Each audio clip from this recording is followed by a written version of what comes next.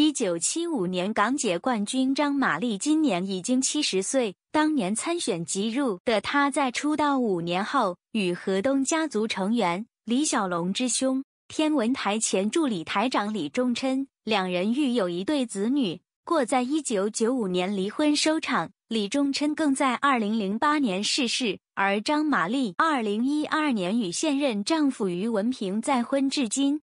最近，张玛丽在交往宣布荣升婆婆。今日在 FB 贴出抱着出世只得五的外孙子，笑容相当灿烂。张玛丽今日在 FB 贴相留，感谢天父恩典，孙儿 Oliver 的第五天。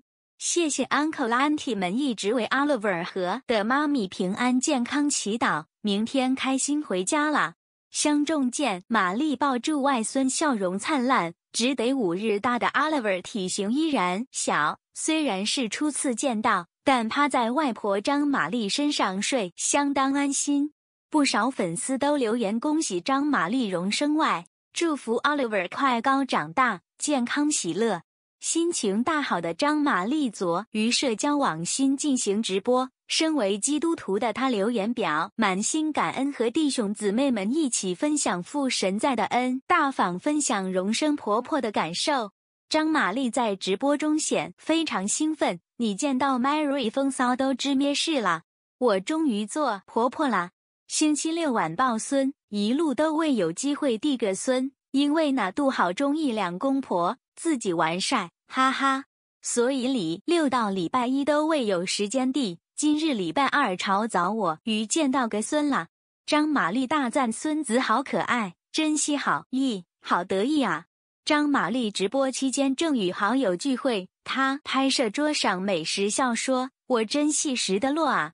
你弟虾我几多也？”他又兴奋宣布孙子姓名，那度原来生左，离先改名。最后我被告诉去叫 Oliver，张玛丽更表示正外孙子改中文名。我朱凯爱那滴都挤，他又别感谢粉丝的祈祷。张玛丽早年受访曾透露，大在外国完成机械人博士课程后，将所学运用在疗上，继续研究工作，而女儿则嫁给法国飞机工师。在外地建立幸福家庭。星岛头条 App 经已推出最版本，请立即更新，浏览更精彩内容。